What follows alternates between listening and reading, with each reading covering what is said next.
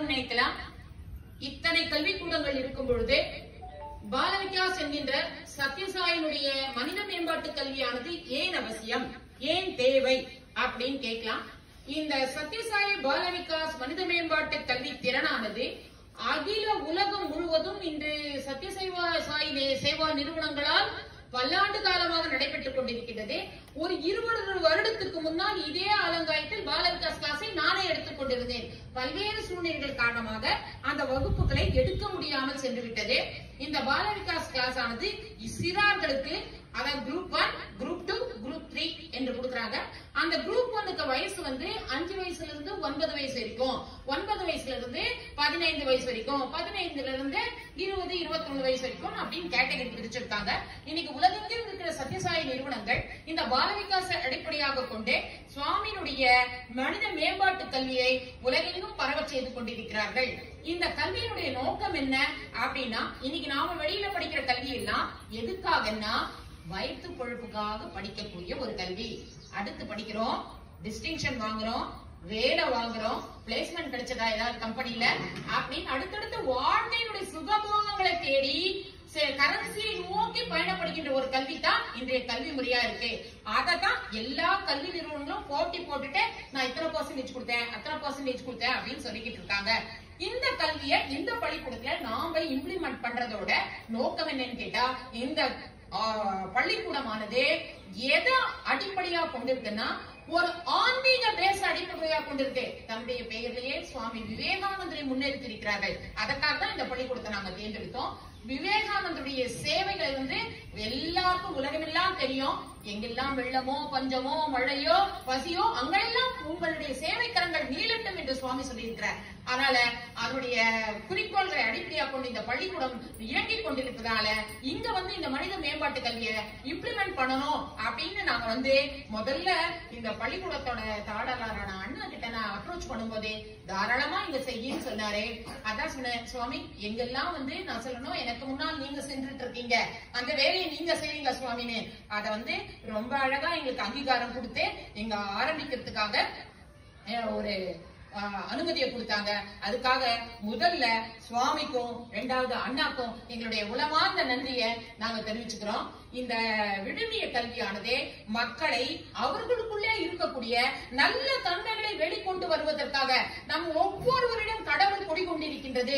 நம்ம உள்ளத்திலே கடவுள் எப்படி இருக்கிறார்? மனித மேம்பாடுகளாக இருக்கிறார். இந்த விழுமிய கல்வியை கொடுக்கிறதுதான் சத்யசாயி சேவா நிறுவனங்களோட குறிக்கோள். நமக்குள்ள என்ன மனிதத்துல பரவி இருக்கு கடவுள். எந்த ரூபத்துல பரவி இருக்கிறான் அன்பு கருணை தியாகம் சேவை பொருத்தல் அப்படின்னு பல விதத்துல வந்து நல்ல விழுமியங்களா நமக்குள்ள இருக்காங்க. ஒவ்வொரு பேரண்ட் நினைக்கிறதும் என்னுடைய மாணவன் என்னுடைய குழந்தை இந்த சமுதாயத்துல தலை சிறந்து விளங்கணும். மனிதநேயத்துல சிறந்து விளங்கணும். கல்வியில சிறந்தா கல்வியில அறுபது பர்சன்ட் கிடைச்சா கூட வேலை கிடைக்குது. தொண்ணூறு பர்சன்ட் வேலை கிடைச்சா கூட கிடைக்குது. ஆனா ஒரு குழந்தை அவங்க அப்பா அம்மா வளர்க்கும் போது ஆயிரம் கனவுகளோட வளர்க்குறாங்க. நூறு சதவீதம் என் குழந்தை என்னுடைய குடும்பத்திலையும் எனக்கும் மிகவும் என்னது? ஆஹ், ஒத்திசைவோடு இருக்கணும் அப்படின்னு நினைக்கிறாங்க. அதாவது அன்பு கருணை பாசம் தியாகம். இன்னைக்கு ஆலமரம் எப்படி இது விழுதுகளை கொடுத்தாலும் ஆலமரம் முதல்ல விழுது விழுதுகளை தாங்குது. விழுது கடைசியில ஆலமரத்தை தாங்குது. அத மாதிரி இந்த சிறார்கள் எல்லாம் இந்த குடும்பம் என்கின்ற அடிப்படையில அதாவது கொடுத்தல் வாங்கல் என்ற கணக்கிலே இல்லை. பேணக்கூடிய நல்ல சிறார்களாகவும் இந்த கல்வி நிறுவனத்துக்கு பெருமை சேர்க்கக்கூடிய சிறார்களாகவும் இந்த சமுதாயத்துக்கு ஒரு நல்ல மாணவர்களாகவும் நல்ல ஒரு பிரஜையாகவும் இந்த நாட்டுக்கே எப்படி வந்து இவங்களை எல்லாம் உருவாக்குறது அப்படின்ற பேஸ்ல சுவாமி இந்த விழுவை கல்வியை நமக்கு கொடுத்திருக்கிறாரு. அந்த கல்விக்கான ஆரம்ப விதை இந்த ஆலங்காயத்தில் இந்த பள்ளிக்கூடத்திலே தூவப்படுகின்றது. இந்த விதை விருட்சமாக மாறும். அதற்கு பகவானின் அங்கீகாரமும் ஆசீர்வாதமும் நமக்கு என்றும் கிடைக்கும். அதற்கு சான்று இங்கு வாருங்கள். நான் வந்தப்ப எப்படி பூ போட்டிருந்தேன்? இன்னைக்கு சுவாமி நம்மளை எப்படி ஆசீர்வதிச்சிருக்கார் பாருங்க. புரியுதுங்களா?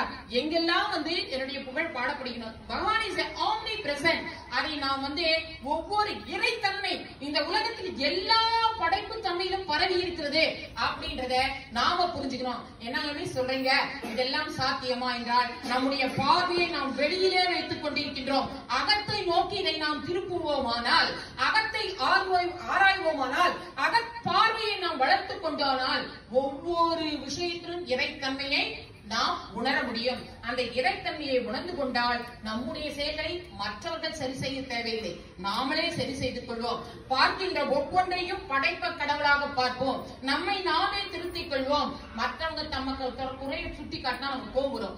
ஆனா நம்ம குறைய நாமளே உணர்ந்தா நம்ம மேல நமக்கு அது கோபம் வரதில்லை இந்த மாதிரியான அடிப்படை விஷயங்கள் எல்லாம் சின்ன சின்ன விஷயங்கள் எல்லாம் இளம் சிறம் பருவ பருவத்திலே பருவத்திலே நம்ம சொல்லி கொடுத்துட்டோம்னா அவங்க நல்ல மாணவர்களா இந்த சமுதாயத்துக்கு உருவாக்குவாங்க அதுவும் இல்லாம இந்த பகவான் சொல்ற அந்த மனித பண்பு மனித நேயம் விட்டு கொடுத்தல் சகிப்புத்தன்மை சேவை அப்படின்னு எல்லா விஷயத்திலும் அவருடைய கரங்கள் நீளுமானால் நல்ல ஒரு சமுதாயம் கட்டி எழுப்பப்படும்.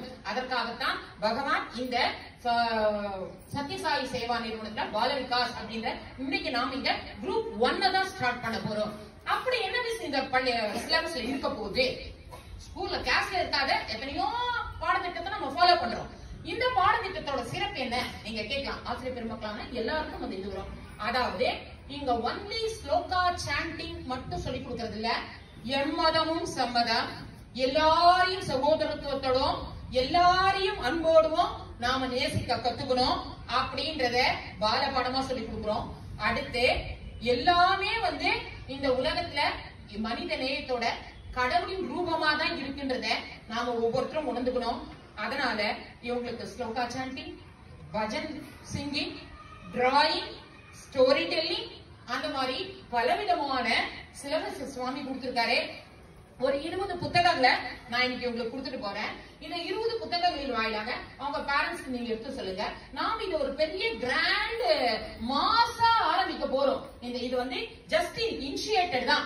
இன்னைக்கு வந்து இந்த பாலவிகா ஸ்டார்ட் பண்றது. நான் வந்து என்னைக்கு பள்ளிக்கூடம் இல்லையோ அன்னைக்கெல்லாம் நான் இங்கதான் வந்து குழந்தைங்களுக்கு நான் ஸ்பெண்ட் பண்ண வரேன் ஆஹ் நான் வராத பட்சத்துல என்னுடைய மாணவர்கள் இங்க இருக்கிறாங்க. அவங்களை ஓரளவு கைட் பண்ணேன்னா அவங்க வந்து இத கொஞ்சம் ஃபுல்ஃபில் பண்ணுவாங்க. அதற்கு மேல எல்லாத்துக்கும் சுவாமி வழிகாட்டுவாரு அதனால இங்க வந்திருக்கிற குழந்தைகளே நீங்கள் எல்லாம் முதலில் ஆசிர்வதிக்கப்பட்ட குழந்தைகள். கடவுள் இன்னைக்கு உங்களை சூஸ் பண்ணிருக்காரு புரியுதா? நாங்க சூஸ் பண்ணல. நீங்க இதெல்லாம் கத்துக்கணும். உங்க பேரண்ட்ஸ் கிட்ட போய் சொல்லணும். நீங்க வந்து என்ன பண்ணணும்? நம்மளுடைய ஒவ்வொரு செயலையும் யார் பார்த்துட்டு இருக்காங்க சுவாமி பார்த்துட்டு இருக்காரு கடவுள் பார்த்துட்டு இருக்காரு நம்மால எல்லாம் செய்ய முடியும். நாம எல்லாத்துலயும் நல்ல பெர்ஃபார்மன்ஸ் கொடுப்போம். ஆசிரியர்களுக்கு நல்ல மாணவர்களாகவும் பெற்றோர்களுக்கு நல்ல குழந்தைகளாகவும் நாம இருப்போம் அப்படின்னு நீங்க ஒவ்வொருத்தரும் நம்பணும். இந்த கல்வியானதே உங்களுக்கு என்ன பண்ணுவாங்க குரூப் ஒன்னுக்கான எக்ஸாம்ஸ் இருக்கு.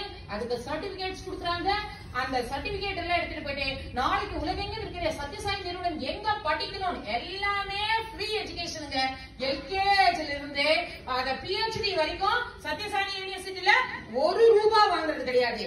எல்லாமே திறமையின் அடிப்படையில உனக்கு தகுதி இருந்தால் அங்கே உனக்கு கண்டிப்பா சீட் கிடைக்கும். அந்த சீட் கிடைச்ச இந்த பாலவிகா சர்டிபிகேட்டோட உள்ள போனா அவனுக்கு தான் ஃபர்ஸ்ட் ப்ரிஃபரன்ஸ் புரியுதுங்களா? அதனால இந்த ஒவ்வொரு மாணவர்களும் அந்த காம்படிட்டிவ் எக்ஸாமுக்கு தகுந்த மாதிரி நம்மள தகுதிப்படுத்திக்கணும். நம்மள தகுதிப்படுத்திக்கணும்னா நம்ம கிட்ட இருக்கிற மற்ற வே- அதாவது ஒவ்வாத குணங்களை எல்லாம் சீர்படுத்திக்கணும். அந்த சீர்படுத்திக்கிறதுக்கே இந்த கல்வி உதவும். நம்முடைய புத்தி கூர்மையாகும். அகத்தின் உள்ளே திரும்பி பார்ப்போம். அகத்தின் உள்ளே திரும்பி பார்க்கும் போதே நம்ம நாமே எவாலுவேட் படிப்போம் அதுக்கெல்லாம் இந்த கல்வியானது பயன்படுது. அதனால இன்னைக்கு இதை ஸ்டார்ட் பண்ண வந்திருக்கோம். ரொம்ப நன்றி. குழந்தைகளே உங்க எல்லாருக்கும் பகவான் பேர்ல வருக வருகன்னு வரவேற்கிறோம். நீங்க எல்லாம் ஆசிர்வதிக்கப்பட்ட குழந்தைகள். நீங்க சொல்லி கொடுக்கறத நான் சொல்லி கொடுப்பேன். மத்த மிஸ்ஸுங்க சொல்லி கொடுப்பாங்க எல்லாரும் கேட்பீங்களா கேட்கலாமா? ஆமா. ஃபர்ஸ்ட் இன்னைக்கு நாம கத்துக்க போறது என்ன தெரியுமா? சைலன்ட் சிட்டிங் அண்ட் ஓங்காரம் சாண்டிங் புரியுதா? நிமிந்து உட்காந்துக்கோ நல்லா நிமிந்து உட்காந்துக்கோ கண்ணை மூடிக்கோ. நல்லா கண்ணை மூடிக்கோ. கைய ரிலாக்ஸா வச்சுக்கோ தொட மேல. நிமிந்து உட்காந்தியா. நல்ல பிரீத்த இழுத்து நல்லா நிதானமா அப்படி பார்க்கலாம் மூச்சை. பிராணாயம் மாதிரி பிராணாயம் மாதிரி. In out in out in out கண்ணை மூடிட்டியா? ஸ்டார்ட் பண்ணலாமா? சொல்றீங்க என்னோடவே? ஆமா. அதாவது நல்ல அதிர்வலைகளை கொடுக்கும் இந்த ஓங்காரம். புரியுதா? காலையில நீ எழுந்து பிரஷ் பண்ணிட்ட பின்னால உட்காந்துனே இத பிராக்டிஸ் பண்ணினா அன்றைக்கு நாள் முழுக்க அமைதியான மனநிலையில நல்ல செயல்களை செய்து முடிக்கப்ப ஓகே சொல்லமா ஓ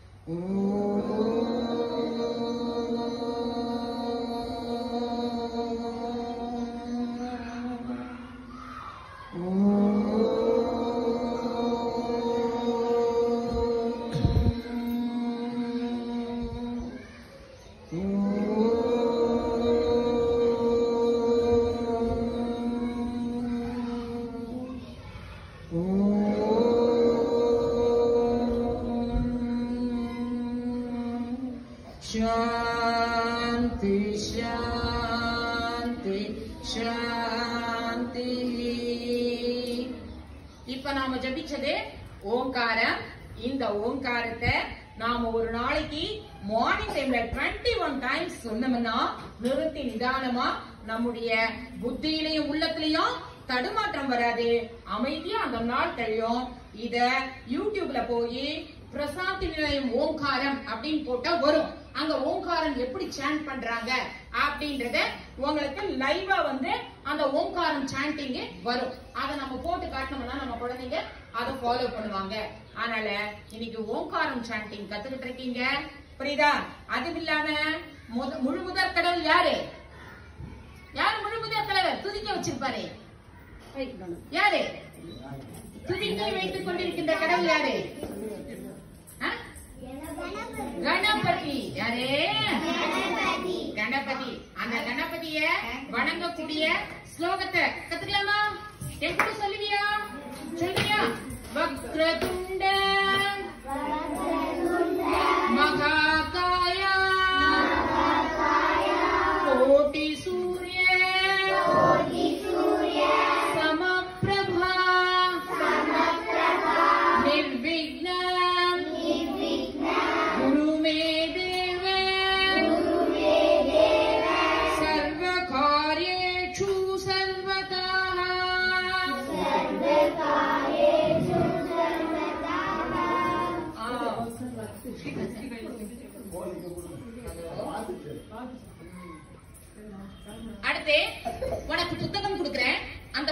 இந்த மந்திரம் இருக்கு.